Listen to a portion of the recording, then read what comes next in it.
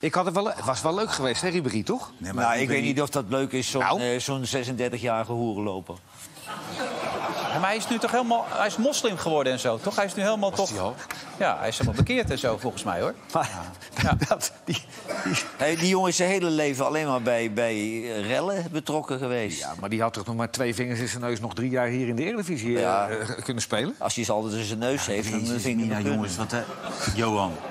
Nou heb je Baumgartel, Swaap en Viergever. Ja, wat een armoede. En dan heb je nog Sainsbury en Lucassen over. En die mogen dan weg. Maar die hebben zo'n PSV-salaris. Die zouden voor Pek Zwolle en Willem II best bruikbaar zijn. Maar die kunnen dat salaris niet ophoesten. hey mensen, jullie moeten zeker kijken naar Veronica Insight. Met de nieuwe app Werelds.